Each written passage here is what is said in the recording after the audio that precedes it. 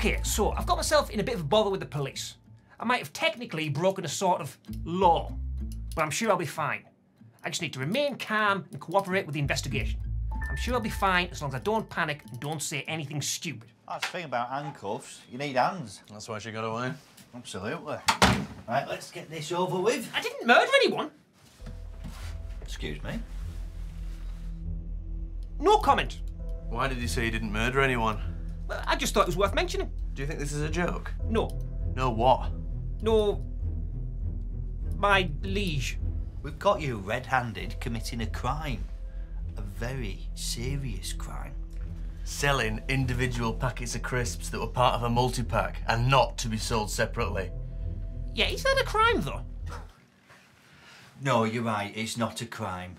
Shall we just pack all this up? Go home? Hang about. I think I'm just going to give my friend a call. Mr. Wotsits, the crisp maker. Oh, no answer. Turns out someone's been stealing from his wholesaling business, so he's killed himself. And his family.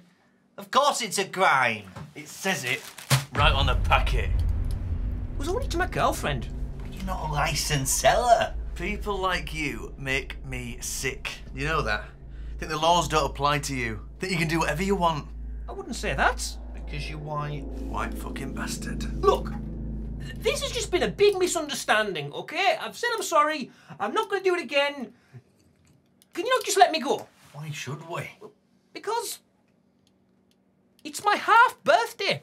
Well, Today's my half birthday. It's exactly six months since my last birthday. And six months to my next birthday. It's my half birthday, so yeah, that's not a thing. I think it might be a thing. Look, here are the facts. You've done a crime. You've been caught red-handed with witnesses. We know you're guilty. Guilty as shit. So why don't you just admit it? You fucking guilty shithead.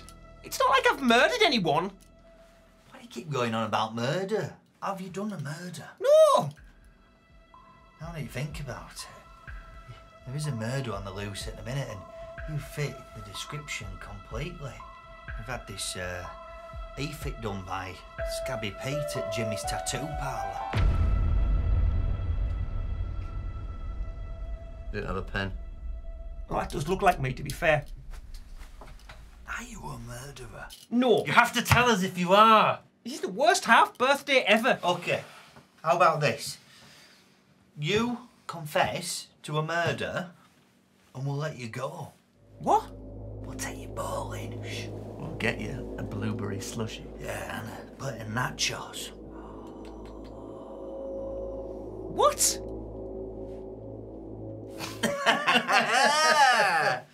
Look at his face. You idiot. of course, you are not under arrest. We're just having a laugh. Truth is, this job can be a bit boring, especially when there ain't no crime. So we thought we'd get you in, mess about with you a little bit. That's it. It's just you're free to go, but we are gonna have to fine you for this Chris business. Okay, fair enough. All right, what have we got? First off, um, first time offence. But you did plead guilty. Mm. He's wasting police time, Wasting police time. but it's his half birthday. But it's his half birthday. Okay, how about we lay it all out? We call it six, eight thousand pounds, please.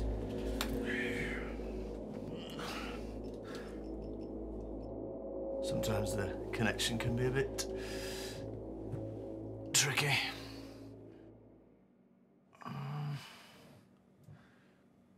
many bar you got? No, but come on, you bastard.